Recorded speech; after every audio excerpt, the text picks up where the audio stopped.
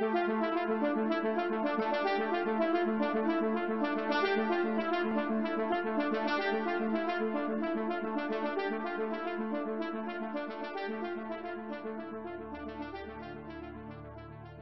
has been rattling its sabers in the direction of Ukraine in recent weeks, amassing some 100,000 soldiers near the smaller country's borders. Is Europe facing a Russian invasion of Ukraine? What will the United States do in response? And of course, what will the Europeans do? What is the historical background to Russia's threats to Ukraine? Welcome to International Horizons, a podcast of the Ralph Bunche Institute for International Studies that brings scholarly and diplomatic expertise to bear on our understanding of a wide range of international issues. My name is John Torpey and I'm director of the Ralph Bunche Institute at the Graduate Center of the City University of New York. Today we discuss the crisis between Russia and Ukraine with Susan Smith Peter, who's professor of history at the College of Staten Island uh, in the CUNY system.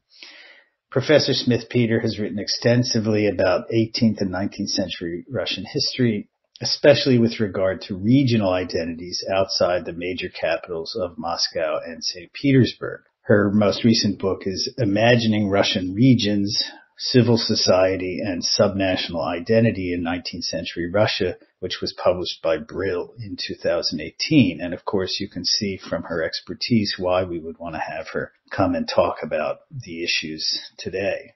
Thanks so much for joining us today, Susan Smith Peter. Thanks, John. I'm really glad to be here and I'm excited to be able to talk about Ukraine and Russia in a long-term historical perspective because that's something that isn't always present in the commentary that we uh, read and, and hear. So when we're talking about what's going on with uh, the crisis in Ukraine, I mean, we need to start with some basics. And one of them is just a simple statement that Ukraine is its own country. Uh, Ukraine has its own language. Uh, I'm fluent in Russian. I studied Ukraine uh, and Ukrainian, uh, and I can say that you know it's not just a dialect. It does sound different. Uh, sometimes when you're reading Ukrainian, it's easier because you can understand and figure out the roots of the language, and sometimes they're they're uh, quite similar. But it really is its own um, its own sort of history, culture, language, all that sort of stuff. Now, I would kind of call what's going on historiographical warfare, historiographical in the sense of different ways of writing history. And one of the things I base this on is actually Putin's own statement. Putin wrote a statement, uh, quite an extensive one called on the, on the historical unity of Russians and Ukrainians. It was actually so long that Zelensky, the president of Ukraine, kind of uh, said, you know, it's uh, obviously Putin has a lot of time on his hands. But one of the interesting things about this statement is that it's very historiographical in its nature. It's very detailed. It gives uh, a retelling of the relations between the Russians and the Ukrainians. And uh, Russian scholars, I mean, Russian historians in Russia, uh, very much critiqued it and said it was anachronistic and said that the idea of the people that he uses and projects back into the past is a 19th century idea. And, and that's all true. But one of the things that struck me is that it's very similar to one of the very first historical works in Russian that encompassed the uh, Ukrainian people, which was uh, Nikolai Ustryalov in 1839. He wrote a book called Russian History, and in that history, he talked about how Russia, Russian Empire had to regather its lands, and those lands were Belarus and Ukraine, and this happens through the partitions of Poland. I'm not going to get into all of that right now. But the interesting thing about Ustryalov and why it's so similar to, to Putin is that con- considers that any time that Ukraine is not united with Russia, it's because of uh, foreigners and the machinations of foreigners, especially Poles.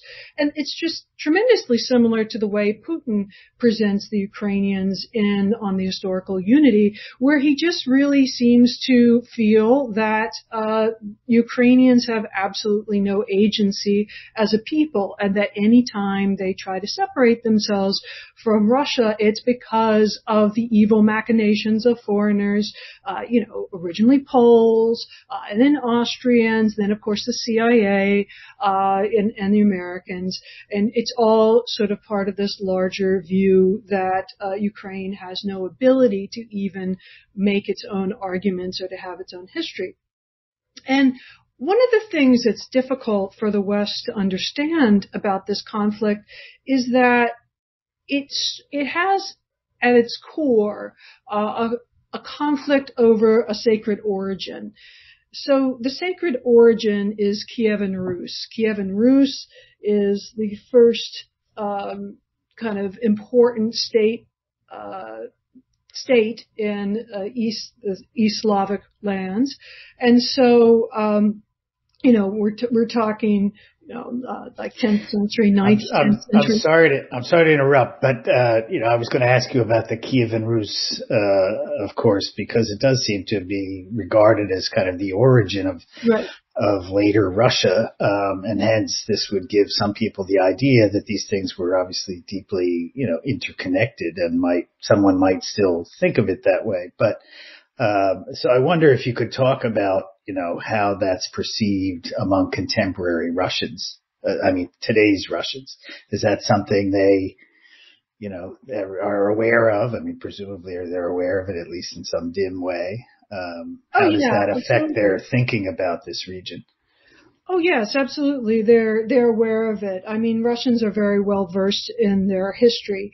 Um, the Russian history without Kievan Rus doesn't really make a lot of sense. It would sort of be a similar situation if American history was in a situation where only Boston could talk about Lexington and Concord and Paul Revere and the, and the American Revolution and uh, the rest of the country could only begin the narrative with the War of 1812. It doesn't make sense to start the American um, historical narrative with the War of 1812 because the American Revolution is sort of a sacred origin story. So Ukrainians would object to that because they would say that you know this is uh, you know suggesting that Russia is really part of uh, that Ukraine is really part of Russia. But I'm just using that as an example. So yes, it's still very much on people's minds. It's still very much part of the uh, origin of Russian history and historiography, uh, even in very you know, um, very well done and professional histories. And this debate goes all the way back to the 1850s uh, between these two uh, historians at the time, and it go- continues up to the present. So it's now it's seen as a sort of zero sum game where either Ukraine or Russia can have the ability to say that Kievan Rus is its origin, but not both. Um, one could make the argument that Kiev is the true, um, you know, success capital or the uh-huh. capital. Yeah, that that Ukraine itself is the, is the true success, to, true successor to Kievan Rus. So yes, this is still very much a big big problem, and you you can go back to uh, ideas about Ukraine that were developed in the Enlightenment, which had tremendous influence and continuing influence on Russian views of Ukraine, because in the Enlightenment, the view even among Ukrainians, even among people who lived in Ukraine and were interested in Ukraine was that Ukrainian itself was a peasant language, that it wasn't a universal culture, uh, that it was a particular culture. Um, and then in the 1820s, you get Ukrainians saying, wait a second, look at romanticism. Peasants are wonderful and Ukrainian language is more authentic and it's real and we can collect the uh, Ukrainian folklore. And that division, um, really continues to this day with a lot of Russians um, including just regular members of the intelligentsia saying, "Oh, Ukrainian is so peasant. It's not. It's you know, it's it's just doesn't have the same kind of status. It's it's not as a language of high culture like Russian, and a lot of that goes back to these uh, Enlightenment ideas. And of course, Enlightenment is not always uh, a wonderful, perfect thing. So you know, these kind of contested aspects have been going on for a long time.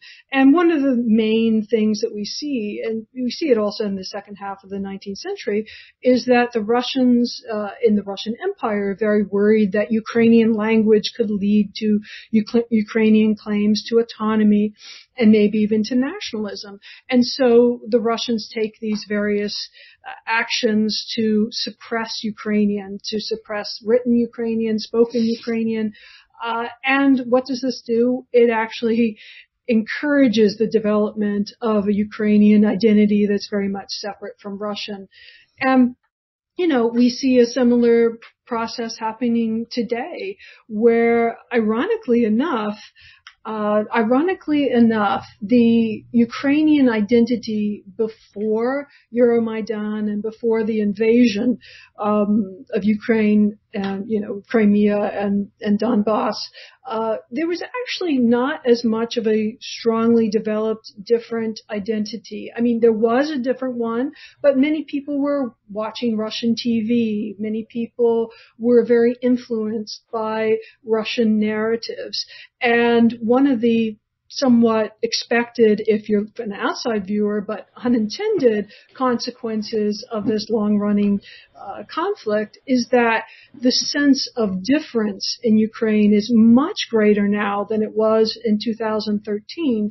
And in some ways, I can compare that to the 19th century, where you have this, uh, you know, the the Russian state is is constantly trying to prevent the uh, discussion of Ukrainian and what does it do? It leads to an intensified sense of Ukrainian identity, history, language, and all all of those good things. So uh, those are the longer, the deeper stakes. Yes. So uh, I mean, obviously, this is an important point that uh, you're saying that there's a kind of greater sense of national difference among Ukrainians in the recent past, in the last decade or so, perhaps less than that. But um, and yet, you know, from Putin's perspective, I mean, Putin, as you know, famously said that he thought the collapse of the Soviet Union was the greatest geopolitical catastrophe of the 20th century. So he presumably is looking at this from a different perspective. I mean, you know, when uh, Ukrainians hear, you know, about the Soviet Union, they may think of the Great Famine of I forgot now exactly 1930, I think, right? Mm. Um, and so, uh, but but apparently that, you know, to some degree was uh, papered over in, in intervening years. So I, I guess, you know, if you could talk a little bit about the differing perceptions of the unity or disunity or unity uh, or div- and division uh, between these two you know entities um, over the 20th century. Yeah, so uh, the Great Terror Famine, Holodomor, uh, that was uh, 1932 to 33. It killed, according to pretty uh, important uh, and accurate uh, estimates, about 3.9 million people, mostly Ukrainians. So yes, um, one of the things that's interesting here is I, I want to go back to the question of Putin and his and his view of uh, the collapse of the Soviet Union. So Putin has this sense of the collapse of the Soviet Union as this terrible catastrophe, and in many ways it was, but because of what happened in the 90s. And what happened in the 90s is that the United States completely forgot the lessons of Versailles. Uh, that was just absolutely out of the window. And instead, there was a sense that Russia is not in the near future going to become a competitor. So therefore, it can be humiliated. But the problem is that when humiliation occurs, it's very difficult for that to be resolved in a way that isn't violent. So in the 90s, the Russians were accepting a lot of advice from the United States. And I'm not going to get into all the details, but, but that advice said that there should be this very fast um, kind of modernization and that there should be privatization uh, and that the market should take care of everything. And the result really was an absolute catastrophe. I mean, millions of people died uh, when they didn't have to. And this is this is actually Western scholarship. It's not Russian uh, nationalist stuff. And I mean, I saw myself things like uh, these veterans from World War II, or as they call it, the uh, Great Patriotic War, begging on their knees with all of their uh, medals on their chest, begging on their knees with a cap in the hand. And, you know, I saw things like, I remember in the crisis of, of 1998, uh, there was a Borzoi dog uh, that was begging at the, uh, I was in a provincial town, uh, and the Borzoi is a very aristocratic dog. Well, why was it begging? Well, a lot of dogs had been kicked out by their owners because their owners could have only two choices. They would either not eat themselves uh, and feed their dogs, or eat themselves and kick out their dog. So this dog was wandering from stall to stall in the meat part of the market, and it was just clearly so confused. Why? Am I not getting food? Why am I hungry? Well, I was always fed before this. And I remember that, you know, uh, so that kind of level of humiliation is very, very difficult to, to process. And if the United States had actually kind of remembered Versailles and carried out a Marshall Plan, we would be in a totally different situation right now because it would have been certainly much more possible to have a stable and democratic Russia if that this 1990s had not been so incredibly traumatic. And Putin is always talking about the 90s as this origin of his legitimacy. He's always saying, you know, look at where we were in the 90s, you know, how humiliated we were, and I've made us a strong country again. Uh, we are now now again a, a real force in the world. And actually, the 90s are part of the reason why his uh, power is to some degree diminishing because the new generation, you know, the 90s for them is they weren't around. Maybe they were born. Maybe they weren't even born yet. And so it doesn't have a visceral kind of appeal to them. So it was a really great catastrophe, but the catastrophe did not necessarily have to be as great as it was. It was incredibly uh, intensified by the actions that were taken. And of course, you could say, okay, Yeltsin should not have taken the advice of the Americans, but um, you know, equally, you could say the Americans should not have, you know, taken this stance that they did. But you know, it's part of the, the, larger kind of thing of what was going on at the time. I mean, this is a, a very harsh era uh, where you have uh, the 1994 crime bill in this country. You have uh, this kind of end of war of, of welfare and this this kind of harshness that was very much part of Bill Clinton's time. Uh, and that harshness was incredibly intensified in Russia, where it really just was uh, red and tooth and claw, and the people that were not able to make it in the market. Uh, including old people, uh, people with disabilities, uh, they they just uh, died you know. Yeah, so. I think it might be useful, uh, uh, you know, for some of our listeners who may not be getting uh, some of these historical references, but uh, to say a little bit more about you know exactly what happened uh, you know after the collapse of the Soviet Union. Uh, I mean, you're comparing it to Versailles, which you know again may not be immediately uh, you know comprehensible for some people. So maybe you could say in in some greater detail, you know exactly what happened with the collapse of the Soviet Union. Sure. Um, I mean, one thing was, as you say, an, an enormous mortality uh, that was related to, you know, collapse of the economy and uh, massive increases in alcoholism and all kinds of things. So can you make a little bit more explicit what you mean when you compare this to what happened in Versailles? So what I mean is there was a sense that this is a, an enemy that no longer uh, is going to be a problem, that the victory can be a very harsh one, and that uh, a kind of peace can be imposed on them without considering how it will really be seen from the point of view of the people uh, who were defeated. So, so that's that's what I mean. So, what happened in the the collapse of the the Soviet Union? Well, Ukraine was very important in actually kind of saying we don't want to be part of the Soviet Union. That was absolutely crucial to the collapse of it. And there was what happened in basically is all the different republics of the Soviet Union over time, it was a relatively short period of time, uh, in 1990, were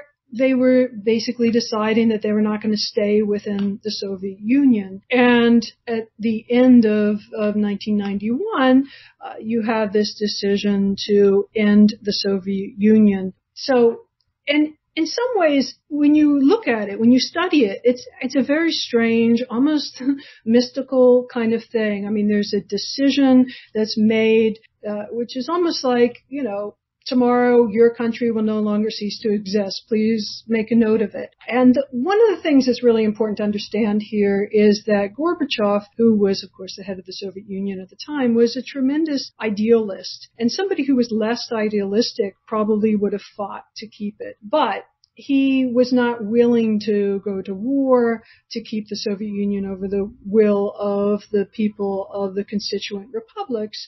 So there was a decision to let the Soviet Union end. And so then what results are all the different states that we see now, the Russian Federation, Ukraine, uh, Estonia, Latvia, Lithuania, all of those states which had been before part of the larger Soviet Union became independent and they had their own foreign policy, their own defense and so on and so forth. So that's, that's what happened there. And then what happened after that in Russia was this era of humiliation and destruction and just completely uncontrolled market forces and people yes, some people were able to do well, and it was a time of great hope. Uh, in some strange ways, I I miss it for that.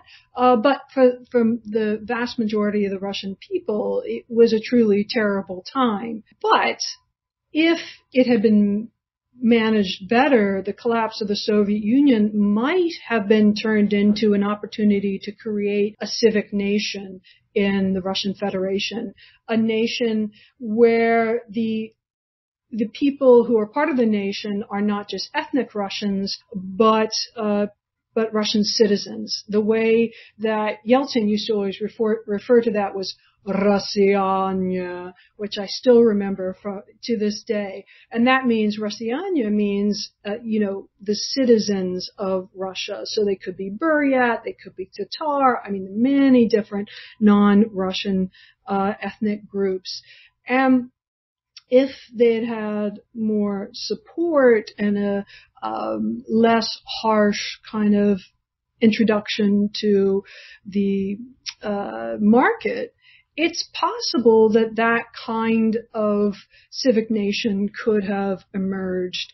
And if that were to have happened, then you wouldn't really need this drive to reclaim the Russian lands, which is based on wanting to get revenge on what happened in the past and uh, to make sure that there's still kind of empire.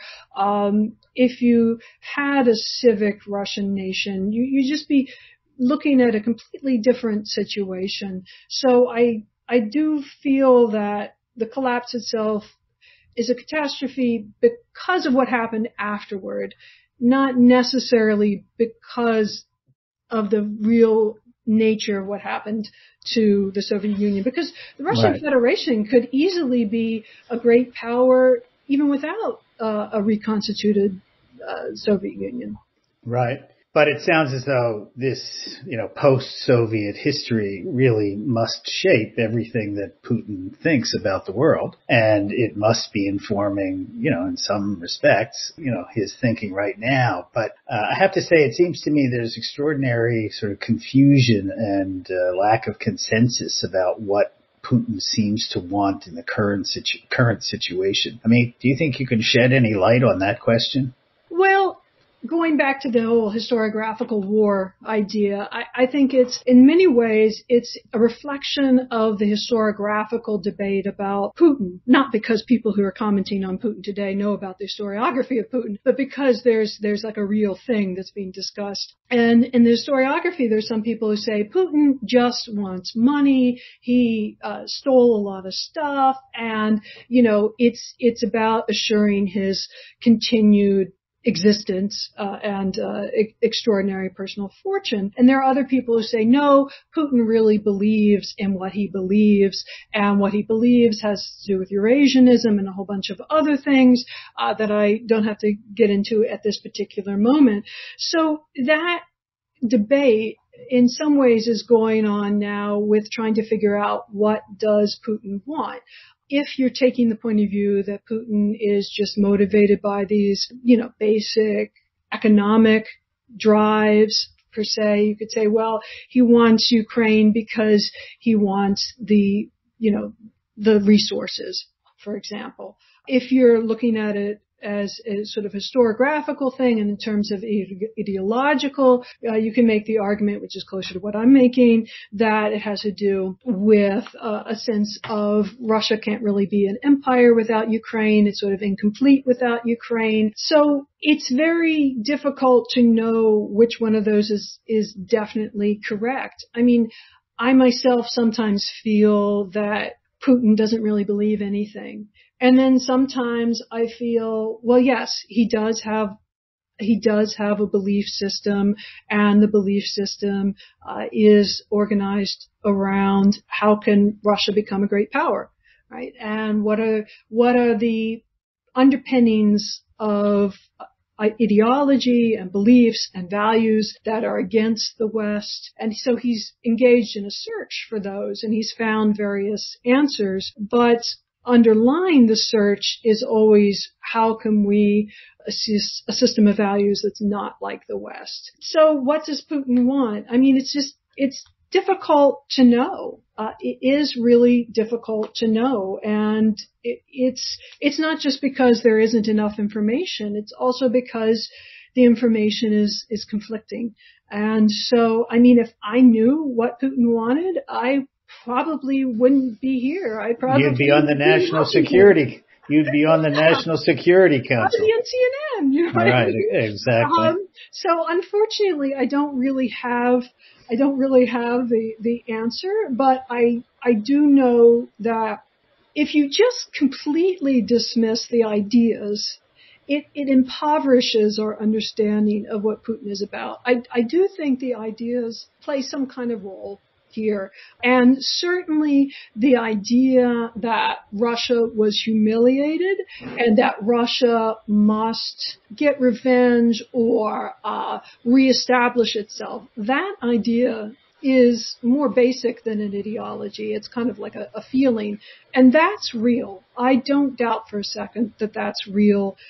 So you know, but then again, Putin, you know, he was a KGB agent. He's very good at hiding his feelings and his thoughts, and he's also very good at, you know, this whole idea of maskirovka, which is playing with different masks, and um, which is can often be a way of distracting people, saying one thing, doing another. Uh, but that sense of humiliation and that desire for revenge, that, that is a thread that goes through. And strangely enough, at the very beginning, um, he hoped to kind of uh, do this by becoming more pro-Western. Uh, and this is something that's often forgotten. And the European Union and others uh, didn't really accept that. Uh, and so if he's going to be rejected, he might as well completely reject them. So, you know, you, you see a similar process with, with Turkey actually. But in any case, yes, um, What is he going to do? Very hard to know. I can, I have speculations, I have ideas what would be logical, but unfortunately it's hard to really say.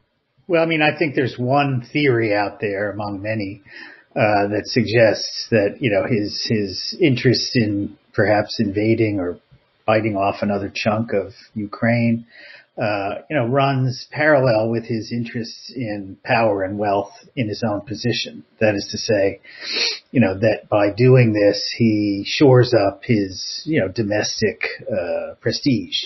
Uh, I mean, what do you think of? I mean, that seems in some ways kind of uncon- incontrovertible, I suppose, but uh, doesn't tell us really exactly what he's going to do. But uh, does seem to be a kind of plausible argument about what's maybe going on. Yeah, I mean that's as I said, the, the historiographical debate. One of them is is more about him uh, making sure that he is able to control his own wealth and his own standing, his own status. I mean, one of the reasons why he's so terrified by these color revolutions is that he's is afraid that he could be overturned and dragged through the streets like uh, Gaddafi and so on and so forth. So, so yeah, that is a possibility. But then when we when we see the choice of Ukraine, the choice of Ukraine is not random. I mean, the choice of Ukraine has to do with, I mean, in 2008, uh, NATO said that Ukraine and Georgia would in the future be able to join NATO. And that, that's a big problem, uh, primarily for Ukraine and Georgia, because then Putin after that uh, started the war on Georgia, and it's a long range uh, reason for what's going on in Ukraine. Um, so you you do see this as one of the one of the reasons why he is choosing Ukraine. And then you also have this historiographical thing where if you want to celebrate the whole long history of Russia, Ukraine is a very important part of that history and he's denying that it has a right to make any of its own decisions.